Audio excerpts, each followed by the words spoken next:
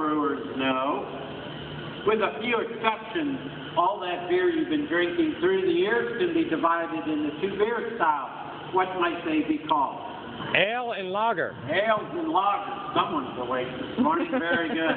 Well, the difference, lagers use a cold fermenting yeast. The beer ferments about 50, 52 degrees.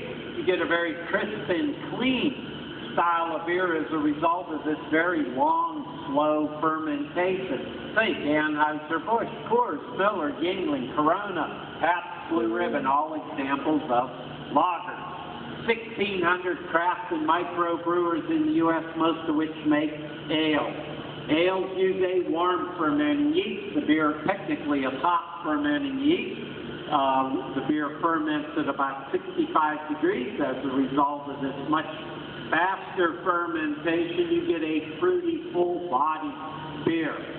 Both beer styles use the same four ingredients. Water, malted barley, hop, yeast, for water, we use on-site wells. We do not use municipal water with chlorine. Second ingredient, hops, and I'll pass these around. These are Warrior. Very aromatic. What are hops? Hops look like a small pine cone. They grow on tall vines. Domestically, mostly around Yakima, Washington. These vines are 25, 30 foot tall mechanically harvested, milled down, extruded through dies, look just like bunny pellets, put in aluminum bags on nitrogen, shrink wrap, 44 pound boxes, that's what's behind you. Hop Union is the largest producer of hops domestically. Well, why do we use hops? When they're put in the boil kettle at the beginning of the boil, those are for bitterness. They balance the sugar that you would normally taste in what would otherwise be a sweet beer. 20 minutes from the end of the boil when they're added, those added, those provide flavor. When the heat's turned off and hops are added, those are for a, a, a aroma. Excuse me, bitterness, flavor, aroma.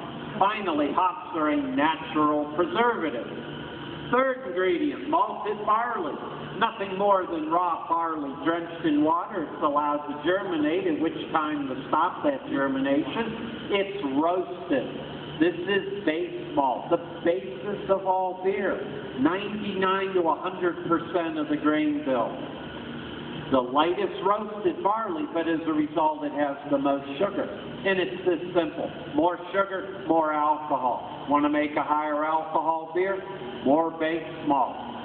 We go through 20 tons of this a day. Large white silos in back. Make a darker beer? You just use specialty grains that have been left in the oven longer. And there are dozens of colors between these two. 50 pound sacks, that's all you need of the specialty grains that are behind you. All this barley drops through a grist mill, cracking it open, augered up into a white weigh scale here. We get the right amount of pounds of barley. We start augering it up.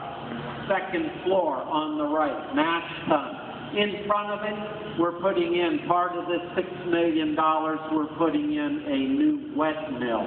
This will allow us, the grain will be wetted, wet first. It'll allow us to speed up the mashing process. Mash tun, second floor on the right. As that barley's dropping in, we mix hot water on top of it. Large stainless steel paddles mixes this mash until it looks just like thin oatmeal. It's very starchy. But by cracking the barley open, we expose enzymes. The enzymes convert, called conversion, the starch to sugar. Only takes 40 minutes. We then transfer that sweet, sticky mash to a lauter tun, partially obstructed to the left. Lauter is German for to separate. The bottom is shaped just like a colander. It has thousands of slits in it.